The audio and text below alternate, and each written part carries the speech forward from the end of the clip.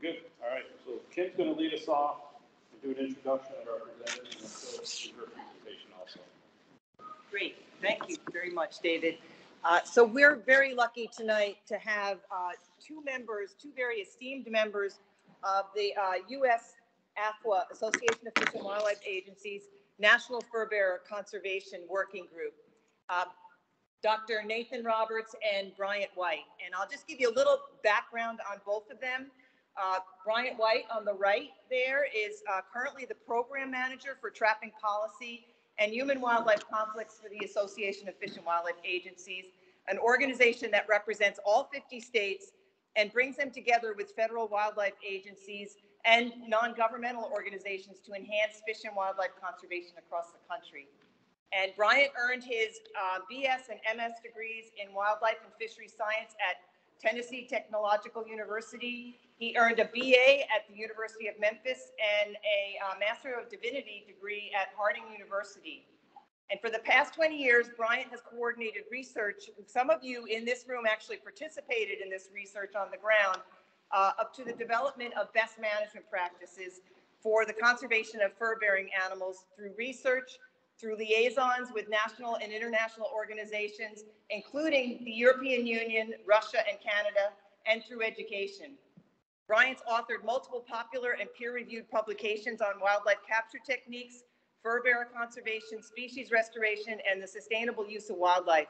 He's actually the lead author on this 2021 prestigious publication in um, the Journal of Wildlife Mon- uh, Management Wildlife Monograph, which outlines the extensive research that's been done for the past 24 years to improve trapping systems. And uh, this, I think, is on our website if anybody wants to take a look at it who hasn't seen it already.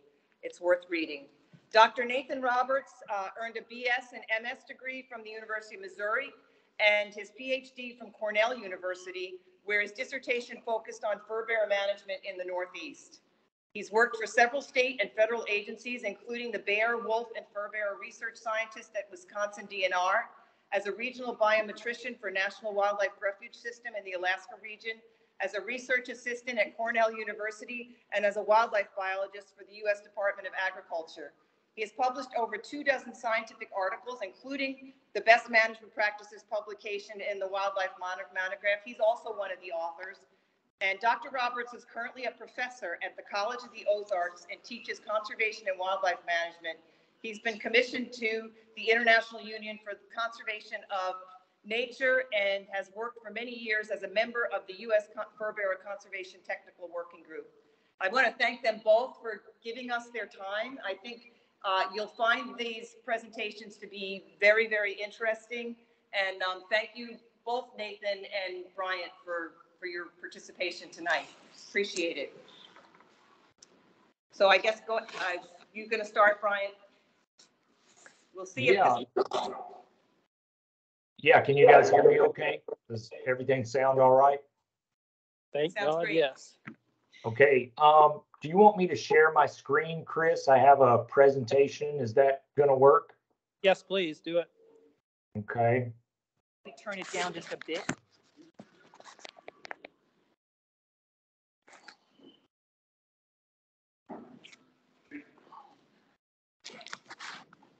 All right. Are you guys seeing that? Are you, what are you guys seeing on your end? I'm not sure. We can see the, we can see it. Um, if Okay. you could- If you could just expand your screen, Did that work? no, but that's okay. Um, are you guys just seeing my slides or are you seeing the words that I'm gonna say or what all are you guys seeing? I can't tell from, from my end. It's fine, we just see the presentation. Okay, good deal. All right. Well, then I'll get started. Uh, no further ado. Um, so first of all, I want to thank you all for the opportunity to be with you virtually tonight. I know that all of you are at this meeting because you're interested in wildlife management. You care about wildlife and wildlife populations, and you care about the welfare of wildlife. And so the reason that I was asked to give this presentation is to simply provide you with some information about a lot of research that's been done relative to evaluating humaneness when capturing fur bears in traps. And so um, back in 1997, the Association of Fish and Wildlife Agencies started a trap research and education program with the purpose of evaluating trapping devices so that we could use science to improve trapping in a number of different ways, uh, but primarily animal welfare and safety and selectivity, and then encourage through education everyone who uses traps to use the most humane, safe, and selective devices. And we call it the Best Management Practices for Trapping Program, or I'll just refer to it as the BMP program uh, throughout my presentation tonight. And so, as Kim mentioned, we published some of our results in wildlife monographs about a year and a half ago. Uh, wildlife monographs is one of the most prestigious peer reviewed scientific journals in the field of wildlife management. And so, I'm going to share some of our uh, results with you this evening. Oops. Sorry, I'm having technical difficulties here. All right, there we go. Uh, but before I do get into that, I also wanted to assure you that there's a tremendous amount of support for trapping among the groups who know the most about wildlife management and animal welfare. So the Wildlife Society, you probably know, is the professional society for wildlife biologists. The Wildlife Society supports the use of trapping in wildlife management. They have a very positive standing position statement on trapping and they actually encourage those engaged in trapping to use traps that have been tested and approved through our BMP program. Also, the American Association of Wildlife Veterinarians is the professional society for wildlife vets. They likewise have a very positive position statement on trapping. Theirs is even specific to foothold traps, and they support the use of those devices. And these are the folks who probably know the most about the welfare of wildlife. Also, the American Veterinary Medical Association, the AVMA, has a positive position statement on trapping. They also encourage anyone using traps to use traps that have been tested and approved through the BMP program. And then also, many institutional animal care and use committees require the use of BMP recommended traps uh, when researchers are capturing wildlife for uh, various research projects. And then, of course, the agency that I work for and that Nathan is also associated with, uh, the Association of Fish and Wildlife Agencies, uh, supports trapping and wildlife management, as do all of our member agencies. And that's what I really wanted to highlight here is that our member agencies support trapping as well. And so AFWA members include all 50 state fish and wildlife agencies and territorial agencies, all Canadian provincial agencies, and then many federal agencies that manage wildlife and habitats. Uh, you'll probably recognize most of these, but the BLM, NOAA, the National Park Service, uh, the U.S. Department of Agriculture, the U.S. Fish and Wildlife Service, and then U.S. Geological Survey. And then we have about 45 non-government conservation organization members. Um, I'm sure you've heard of some of these, like the American Bird Conservancy, the National Wildlife Federation, the National Audubon Society, the Nature Conservancy, Rocky Mountain Elk Foundation, Ducks Unlimited, those sorts of folks. All these agencies and organizations support the use of trapping in wildlife management. And then, of course, the U.S. public, uh, based on our surveys, supports the use of regulated trapping, and they believe that people should have the freedom to participate in this activity. And so I really just wanted to mention all this to let you know that trapping is very heavily supported. It's supported by wildlife professionals, by the professional veterinary organizations out there, government wildlife agencies, many non-government organizations that work in the conservation field, and even the majority of the American public. And so you might wonder, well, why is there so much support for this activity? Well, because trapping is critical to successful scientific wildlife management. Um, agencies use this tool for a lot of different purposes. I've listed seven of those uses here. Uh, there are probably others that we could come up with, but these are some of the critical activities that agencies engage in that use trapping. And Nathan's going to talk about some of these things a little bit later. Um, there is a tremendous amount of need for trapping. There's a tremendous amount of support for trapping, but it's still a controversial activity, and we all know that. Um, folks are concerned about how animals are treated. Um, can traps be selective? Can we target certain species for capture and avoid others? Uh, are traps safe? Do they do they pose a risk, perhaps, to pets or the public or endangered species? And so these are issues that are important to the public. They're important to the scientific community. They're important to the trapping community. And we need to be able to address these issues with scientific information, not just anecdotal information. And so that's what we've tried to do through the BMP program. And so when we started the BMP program, uh, we really wanted to look at three different things. We had three objectives that were primary for us. First of all, we wanted to evaluate and improve traps and trapping systems by looking at five different criteria um, animal welfare, safety, selectivity, efficiency, and practicality. And I'll explain all those as I go through the presentation tonight. We also wanted to enhance the awareness and understanding of modern regulated trapping because we realized that there are a lot of folks out there who really don't understand modern regulated trapping. Um, and then, since agencies use trapping for so many good things that are important to conservation and management, uh, we wanted to be able to sustain that activity so agencies could continue to do that. and so, um, as Kim mentioned, I work with the U.S. Fur Bear Conservation Technical Work Group of the Association of Fish and Wildlife Agencies. Uh, the association has about 60 different standing working groups, committees, and task forces. And so this particular working group focuses on fur bear conservation issues. That group is made up of state, tribal, and federal agency wildlife biologists, uh, university professors, wildlife veterinarians, and then other trapping experts are involved as well.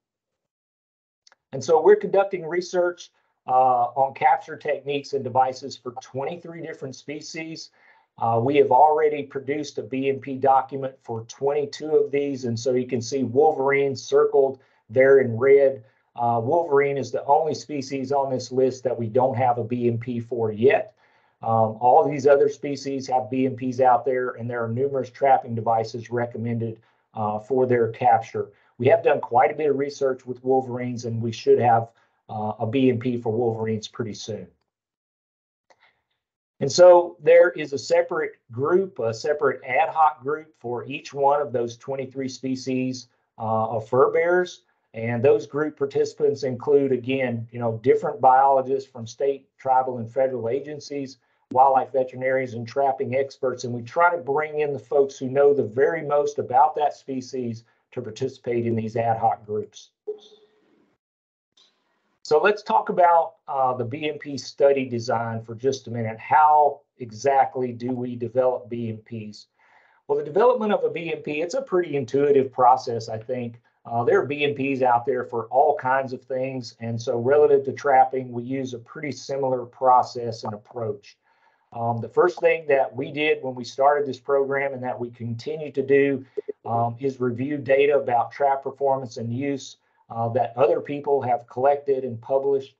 Uh, we prioritized the fur bear species and trap types that we wanted to use based on uh, based on surveys that we conducted of state fish and wildlife agencies, what was most important to them, and then also trappers uh, who participate in regulated trapping programs. Uh, annually, we conduct field projects uh, for the capture of wildlife with different types of traps. We necropsy those captured animals in a laboratory setting. Um, after we finish those capture projects, we analyze the data that we collect in the field and also in the lab. And then we compare animal welfare animal welfare performance to an international standard. And I haven't really talked about that standard much yet, but I'll spend quite a bit of time talking about that in just a moment. Um, and then we synthesize all that data uh, and those experiences, and we produce a trapping BMP. And so we're essentially testing all trap types that are used to capture fur bears, whether it's a live restraint system uh, or a lethal system. Our field projects um, are conducted regionally based on habitat types, soil types, weather conditions, species prevalence. Uh, we know that those sorts of variables can certainly influence results. Um, and so I'm sure you can imagine that trapping conditions in Vermont uh, are a little bit different than trapping conditions here in Arizona, where I live. Uh, and so we have to account for all the variables and nuances that might come into play there. Uh, when I organize one of these projects, I usually find one state from each of two or three regions. Uh, they participate in a single field capture project, and that way we get regional and national results. We usually have two to three trained trapping experts and, and technicians in each state uh, where we're conducting a capture project. Those folks operate under very strict protocols that were developed by the International Organization for Standardization. Um, our traps are checked and animals are removed daily before noon. Uh, those captured animals are dispatched using techniques that are approved by the AVMA or they're released uh, if the trapper decides to do that for some reason. The technician records about 25 different types of data at each trap site each day uh, that are required by the ISO protocol that we operate under. And then the technician ships the animals to the lab for necropsy by veterinary pathologists. And I did want to mention that we conduct our field projects at the state, uh, regional, national level. We run a statistical analysis for every trapper technician team. Uh, we compare the results between those teams to make sure that there are no significant differences between them. And it's really our way of sure, uh, ensuring that there's quality control on the data using standard statistical methods. And so this effectively prevents any individual trapper or technician team from being able to bias the results uh, one way or the other. So experienced wildlife veterinary pathologists perform whole body necropsies on the animals that we capture consistent with those ISO protocols. When we first started this project, uh, Dr. Beth Williams at the University of Wyoming Veterinary Lab did most of the necropsies for animals that were captured in the western United States. And then Dr. Victor Nettles, uh, who was the director of the Southeast Cooperative Wildlife Disease Study at the University of Georgia, did most necropsies on animals that were captured in the eastern United States. And then we also had some animals necropsied at the National Wildlife Research Center in Fort Collins, Colorado.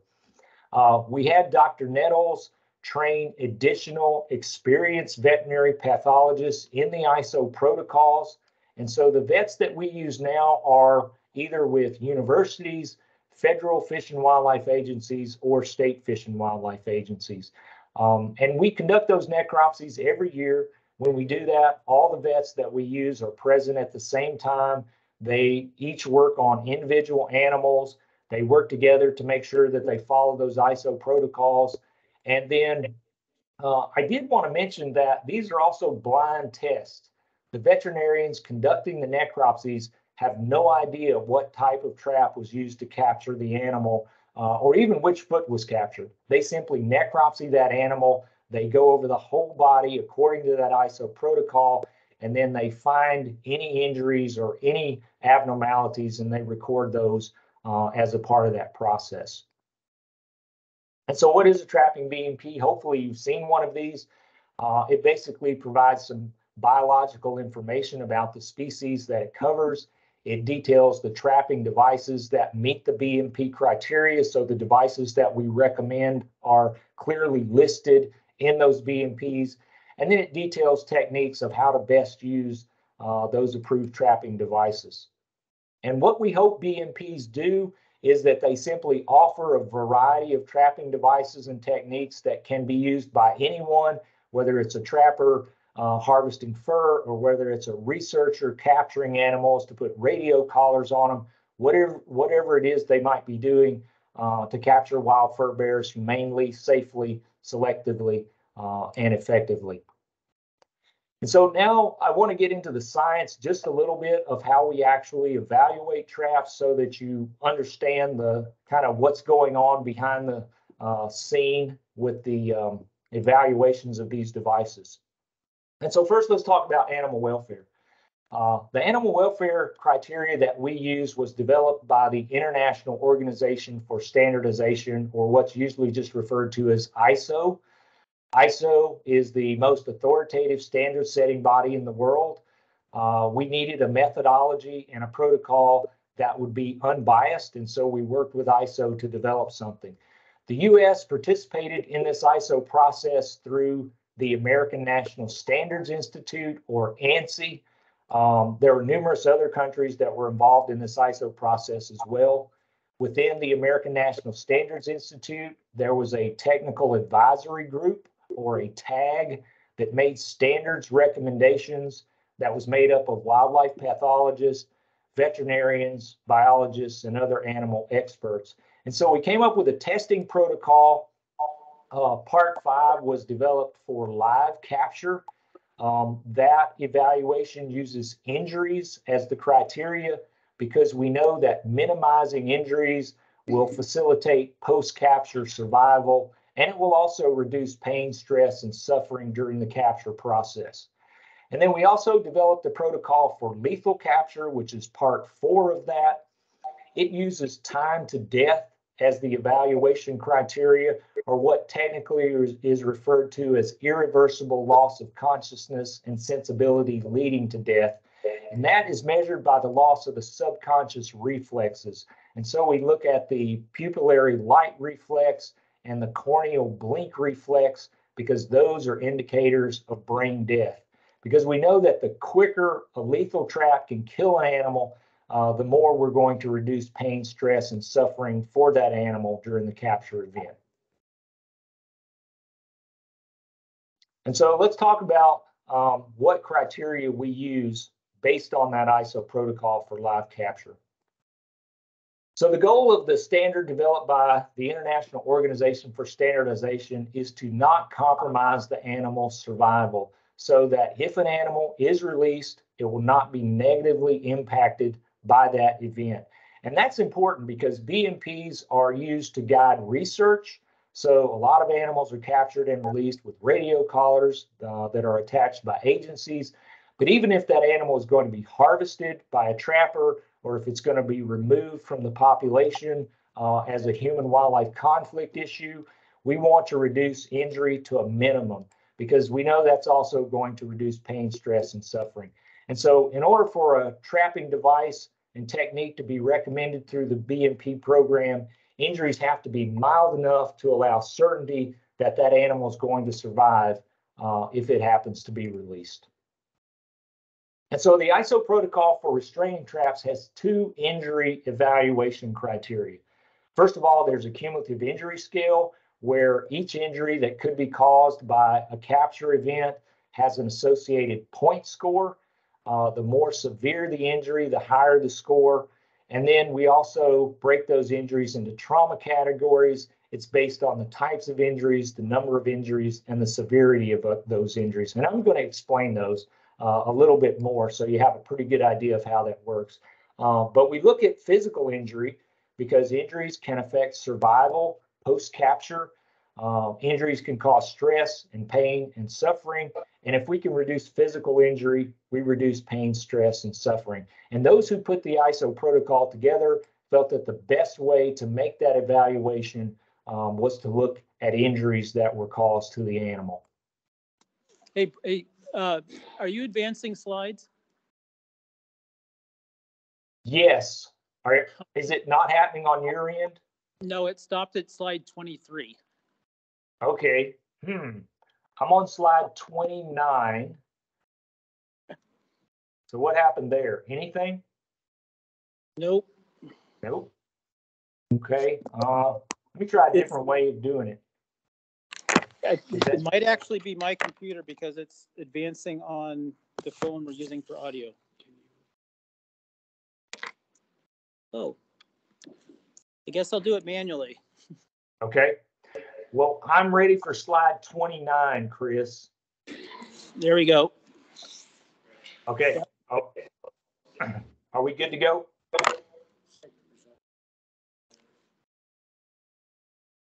Should I continue? Working. All right. All right. Well, I'll, I'll go until you tell me to stop.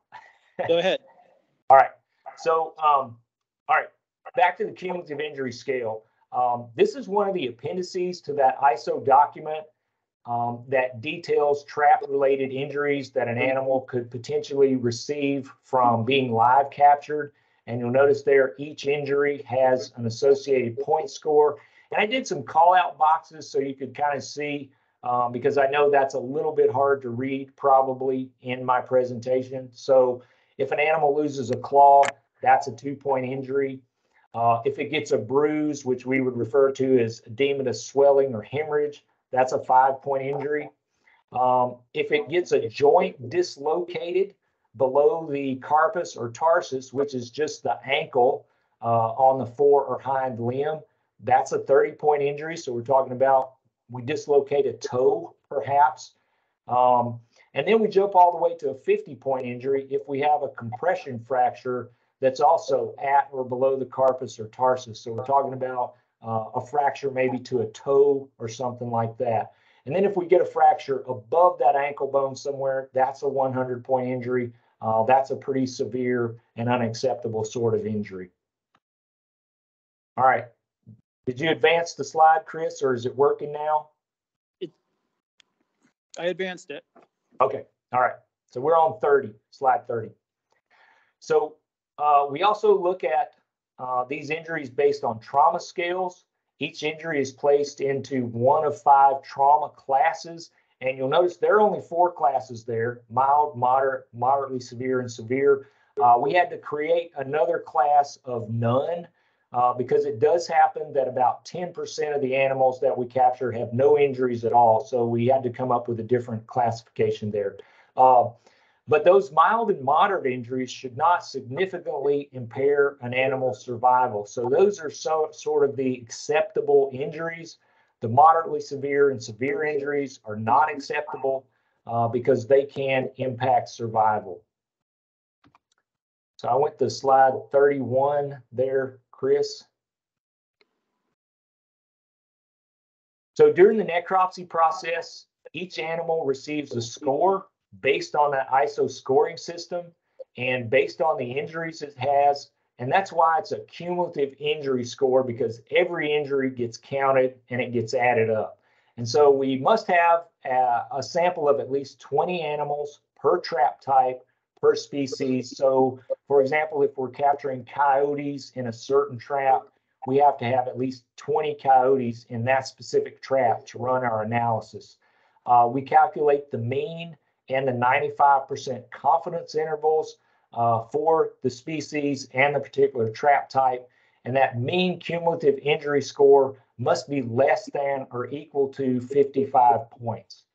And then 70% of the animals in the sample cannot have any of the moderately severe or severe injuries. And what we found, however, is that actually 91% of the animals captured in BMP proved traps do not have any of those moderately severe or severe injuries. They either have no injuries or they only have mild or moderate sorts of injuries. So again, an animal with that level of injury should not be negatively impacted by the capture event um, should it be released. And so that's how it works uh, relative to live capture. And then when we get to lethal capture, well, I'm having issues with my slides now. There we go. All right, so when we get to lethal capture, the goal is to essentially kill the animal as quickly as possible, uh, thereby reducing pain, stress, and suffering as a part of that capture process. And so welfare is evaluated with lethal systems as irreversible loss of consciousness and sensibility. And so that state of irreversible lo loss of consciousness and sensibility is determined to have occurred when there's no corneal blink reflex and the pupils no longer respond to light because these are indicators of brain death. And so the animal is not going to lapse back into consciousness. It also has no sensibility at that point. It has no sensation or feeling.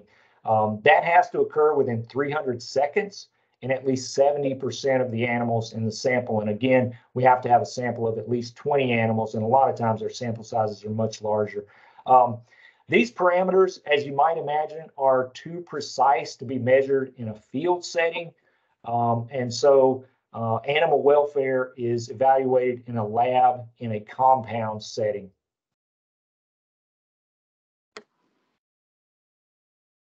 All right, and so the other criteria that are not related to animal welfare, um, these sorts of results are calculated from our field data uh, our technicians collect uh, when they're working with the trappers.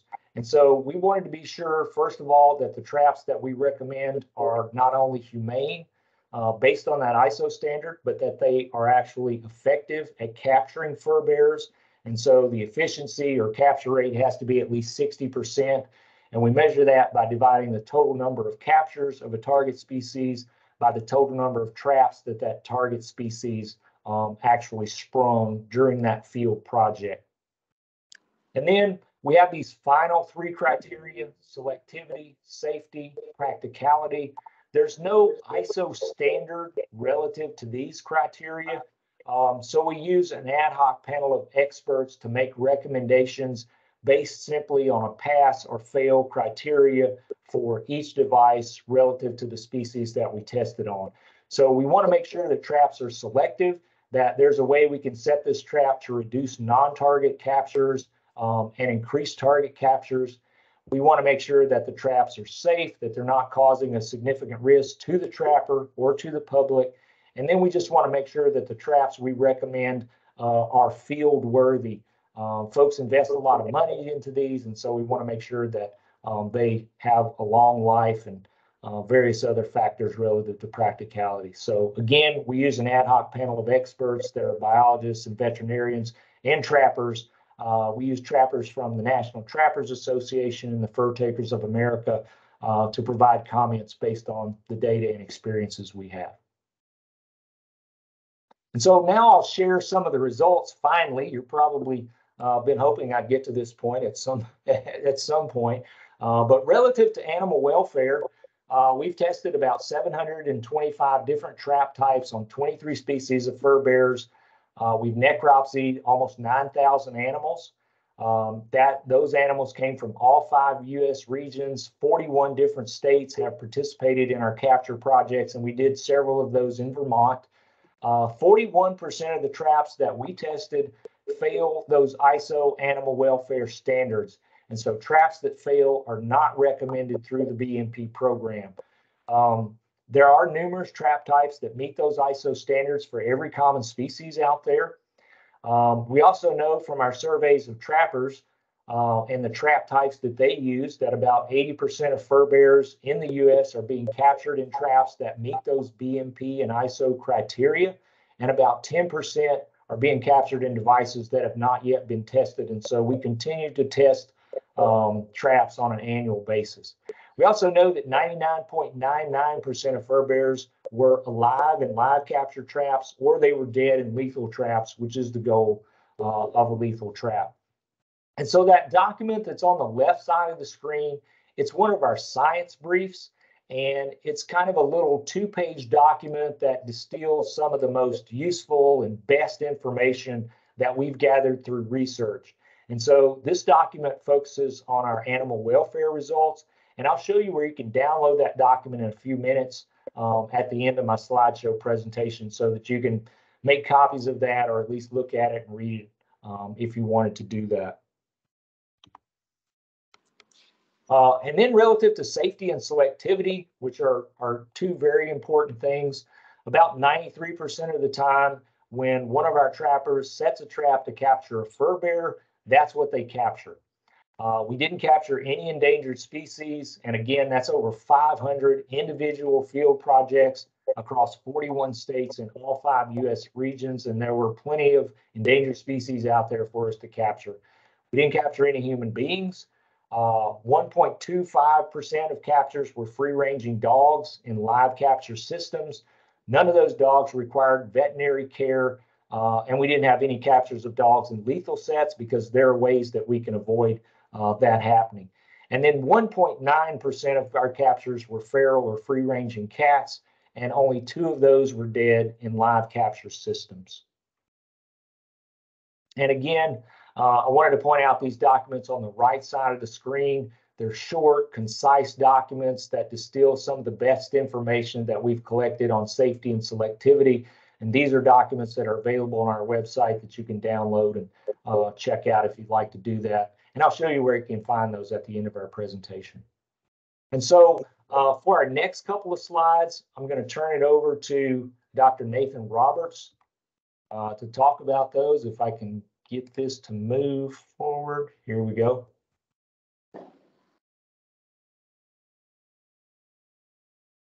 I'm going to just right. go ahead and populate this whole slide, Nathan, if that, that way, hopefully we won't run into any issues. All right, Nathan, take it away. All right, thank you, Brian. Um, can people hear me okay? Yep. All right, very good. Well, thank you, Brian, um, for that very thorough review of the best management practices.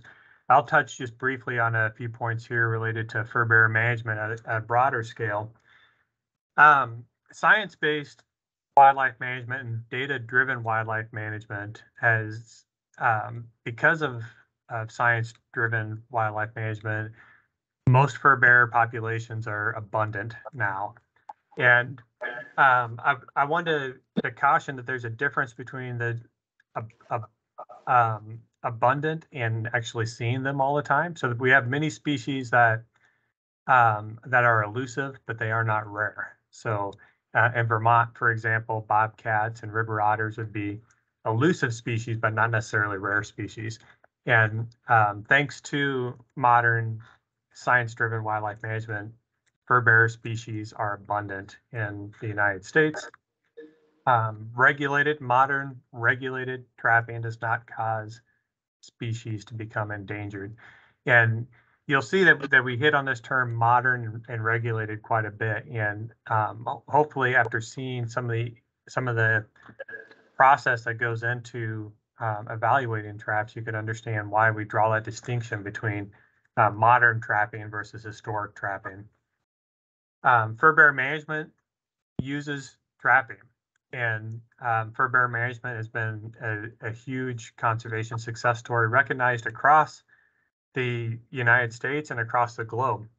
Um, we we often think of trapping as um, simply taking uh, fur bear animals, but trapping is an, an integral part of, of many conservation efforts, including the reintroduction of many animals.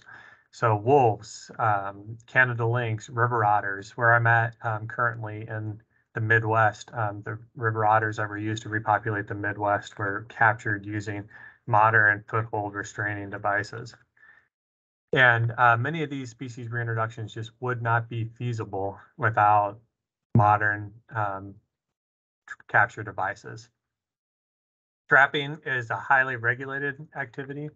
The seasons, the bag limits, the quotas, um, restrictions on where you can set traps, when you can set traps, what types of devices you can use. Um, it, it's a highly regulated process.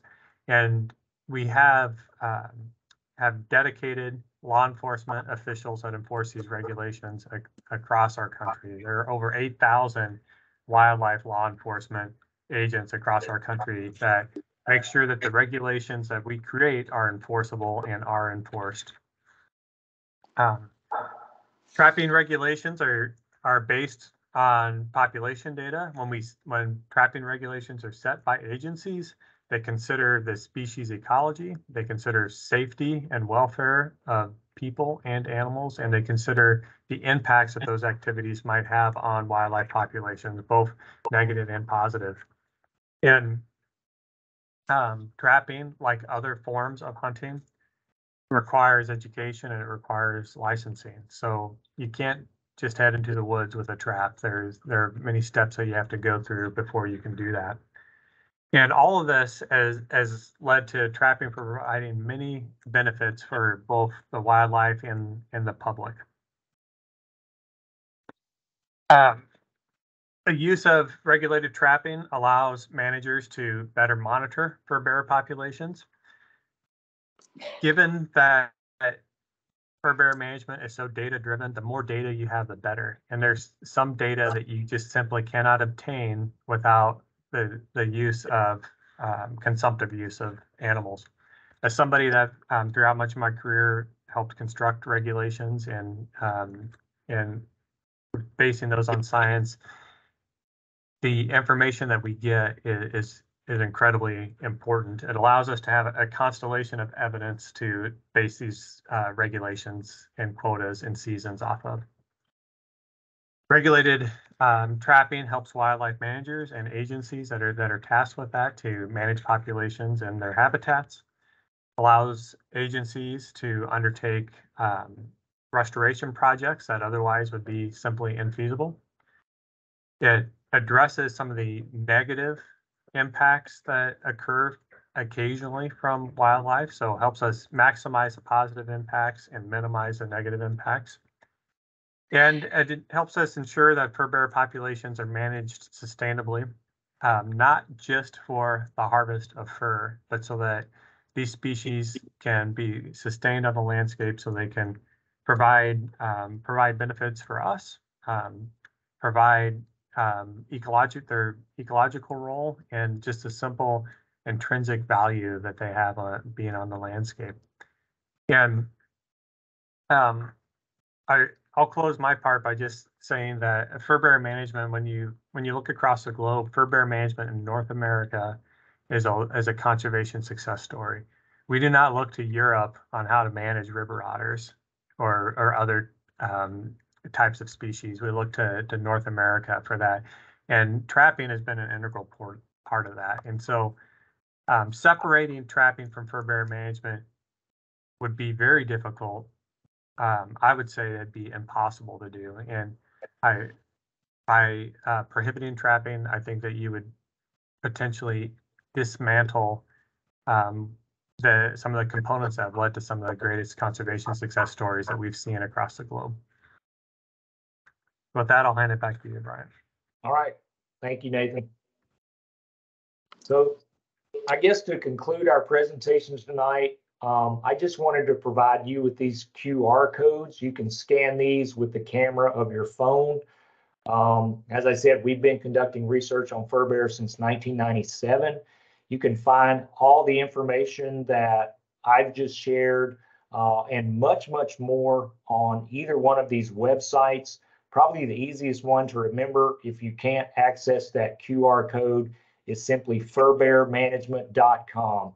Um, so all of that information's there, a wealth uh, of things that Nathan talked about and that I talked about, and you can access all that there. And so um, I guess I'll conclude just by saying thank you again for the opportunity to be with you tonight virtually.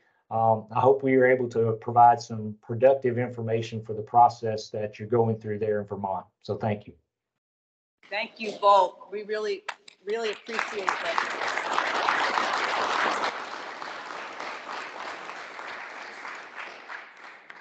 We really appreciate the comprehensive review, and we also have many of these resources on our website too, at Vermont Fish and Wildlife. So if anybody wants to look them up, we have the link, I think, to fur bear management as well. So uh, thanks to both of you. Really appreciate you taking the time. Um, and I hope everybody, we, we aren't going to open it up to questions due to time, but people had papers, they might write the questions on their paper, and we may get back in touch with you folks if uh, we can't answer some of them ourselves. So thanks again. Um, and I assume you're both going to leave. You're welcome to sit in on this, but you certainly probably have better things to do and dinner to get to. So thanks Well, again. Yeah. Thank Alright. you. Thank, thank you for the opportunity to be Thank you, here. Kim. Thanks all of you. Okay.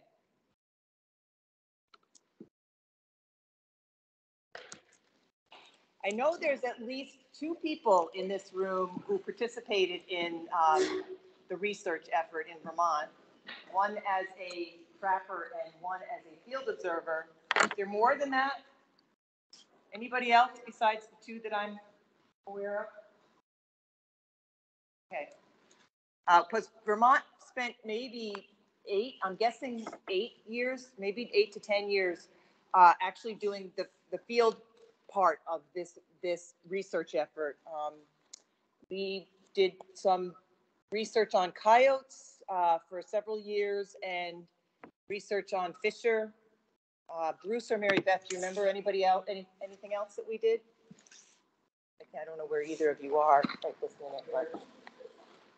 Um, so anyway, uh, very, very comprehensive study.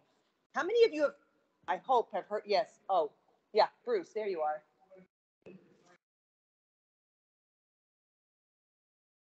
Oh, okay, yeah, they, they took the, they took the, yeah, yeah, thank you. Um, yeah, so it was, um, a very comprehensive effort and, um, we, I hope most of you have heard of the best management practices. Have you? Yeah? Good. That was our original goal, was originally was to just try to educate and get people to transition that way.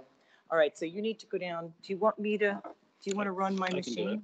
Okay, so I'm just going to go very quickly through um, the working group process, how we got to where we are right now, and what our draft recommendations are. And this, I'll just start by saying, this is pretty early in the process. There'll be a, probably a whole another year to go where we'll be continuing to gather feedback from people.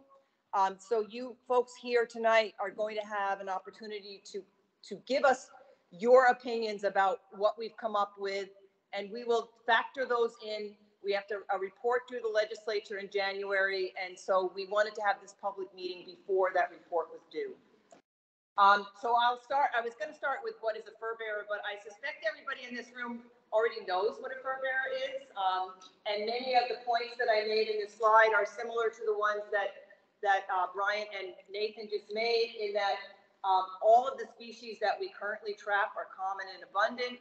Uh, we use science-based, um, information in order to manage those species.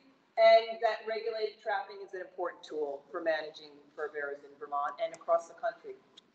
Um, so many of you probably already are aware that last January or last January, the legislature started to work on Act 159, which passed at the end of the legislative session. And Act 159 basically directed the department to develop regulations to modernize trapping. And those six bullets up there are part of the legislation. Can everybody see them or do you want me to read them? Can you read them from back there? Can you see them back there? You can, okay. Um, and I'm just gonna read you the summary of Act one fifty-nine as the legislature wrote it. The act requires the Commissioner of Fish and Wildlife to submit to the General Assembly or the legislature recommended best management practices for trapping that proposed criteria and equipment designed to modernize trapping and improve the welfare of animals subject to trapping programs. The BMP shall be based on an investigation and research conducted by the Department of Fish and Wildlife and shall use best management practices for trapping in the United States issued by the Association of Fish and Wildlife Agencies as the minimum standard for BMP development. So that's basically the details of that act. This was the summary. Those are the details of the, of the act. And we use those details, when I get to talking about the working group, we use those details to, to, um, flesh out what kind of, what direction we were going, going to go in, in terms of coming up with recommendations. So go ahead, Chris. So the department decided that, um, we would establish a working group to try to get some some early feedback on what different um, organizations felt we should include in these recommendations. So we had a representative from the Humane Society and representative from the Sportsman's Federation, somebody from the Association of Fish and Wildlife Agencies, somebody from Protect Our Wildlife, from the Vermont Wildlife Coalition, two members of the Vermont Fish and Wildlife Board, two members of the Vermont Trappers Association, one representative of the Vermont House, and one Vermont senator, and two state game wardens. And if you were on that working group, would you just raise your hand? Some of you are here tonight, not everybody. Um, So I just want to say that we spent, we had four meetings, uh, three hours each, and these people put a lot of volunteer time in to trying to work through this process and provide us with some feedback. And we used the feedback that we got from the members of the working group to develop our recommendations. So the goal was um, to provide, for the working group, was to, to provide input on rules that would regulate the use of foothold trapping systems in accordance with the BMPs as outlined by AFWA. And um, then we were, we were told by the legislature that we had to go beyond the basic BMPs and consider other things as listed in the legislation. And so we actually uh, did come up with some recommendations beyond sort of specific BMP type regulations. We also required that the working group, or they bought into, um, trying to work towards consensus, and we had actually, um, some ground rules that everybody agreed to and tried very hard to stick to, um, in terms of trying to be, um, just, just trying to be, to listen and, and consider other people's feelings. Um, and it- you can understand that people who are members of the working group had some very strong feelings about the issue of trapping. So the objectives of the working group was to get the informed consent, as, as I mentioned. And we wanted to, to have a fair and equitable process, uh, that the legislature would appreciate that we have gone to the trouble of, of getting feedback from everybody. Uh, we wanted to try to secure some consensus. Um, that was somewhat challenging, but that was a goal at the beginning. And um, we wanted to ensure that the recommendations were clear, practical, efficient, and um, enforceable. So based on those six bullets that you saw, and, and the legislation, your facilitator will have a copy of the legislation if you want to look more closely at those six bullets. But based on those six bullets, the group will agree to limit the discussions to those five following topics. So BMPs that would improve animal welfare and selectivity, trail setbacks, baits and lures, technical items relating to body gripping traps, and humane dispatch. And uh, I just want to mention, let me see, I had one thing about that that I was going to bring up. Um, Oh, there's one other thing in the legislation that is not, we don't talk about tonight, but we'll include in our report to the legislature. The report requires under subsection A uh, that the Commissioner of Fish and Wildlife will recommend for funding, for funding the replacement of currently authorized trapping devices with trapping devices that are compliant with the recommended BMPs. So that's something else that we are required to do, and we will submit with the report. What would it cost to swap out current systems with BMP type systems? So our proposal, and, and you'll notice at the top, the first, first issue is animal welfare and selectivity. And what we tried to do was address the objective. What were the concerns of either the legislature or the working group members, and how could we develop recommendations that would address those concerns? So the first objective was to improve trapping and trapping systems for animal welfare, selectivity, and safety as recommended by AFWA. And the recommendations there are that all, and I, I was gonna go through, I don't think I need to do this with most of you, but I was gonna go through what a BMP type trap looks like. I have, we have some with us if you wanna see it, but most of you can visualize this. Uh, I believe all base plates must feature a center chain mount with swivel with free moving chains that allow mobility for animals caught. These are the kinds of things that the BMPs recommended. All traps must be adjustable for pan tension, Traps must be anchored with a minimum of 12 inch to a maximum of 18 inch chain. Uh, foothold traps have to be padded, offset, laminated, or have jaws with a minimum thickness of 5 16ths. And no foothold trap shall be set on land with a spread of more than six and a quarter inches. Okay, that's the animal welfare section. Uh, then the second, the second issue that the working group agreed to discuss was baits and lures. And the objective there was to minimize the capture of non-target animals, particularly birds. Um, and so the language that we are recommending is meat-based bait shall be used in conjunction with trapping, that meat-based bait used in conjunction with trapping shall be covered at the time the trap is set. Covering shall include, but are not limited to, brush, branches, leaves, soil, snow, water, or enclosures constructed of wood, metal, wire, plastic, or natural materials. The third issue that the group agreed to talk about was body gripping traps. The objective here was to minimize any potential for the future capture of domestic pets in body gripping traps set on land. Our recommendation was no meat-based body, meat-based baited body gripping traps shall be set on the ground. However, baited body gripping traps with a jaw spread up to and including sixty square inches, which would be, be up to and including two twenties, can be used on land if five feet above the ground or within an enclosure with openings no greater than sixty square inches and a trap trigger recess at at least twelve inches from all openings. There's no restrictions to body gripping traps, baited or otherwise, if set in the water. And finally, the issue, the last issue, and I, I, I dare say might be the most controversial one, I don't know if you guys would agree with me or not, but, um, was hiking or walking trails and public highway offsets. And the objective here was, uh, some of the working group members were concerned about the potential capture of domestic pets on public lands. Um, and children, although we have no historical evidence that children have ever been caught in a trap.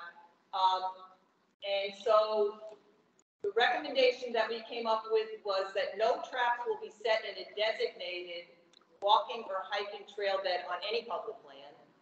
No foot traps on or within twenty-five feet of a traveled portion of a trail on state-owned public land excluding WMAs, which wildlife management areas, which are funded by, um, federal dollars and license dollars for wildlife-based recreation um, unless it is in the water or five feet above the ground. No body gripping trap set fifty feet from a road or trail unless it is in the water or more than five feet off the ground or in a dog-proof set. Now, the twenty-five feet, I will say that, that, we picked that, um, for a variety of reasons. One, because there's already a law in place for hunting, you have to be twenty-five feet off a road or trail.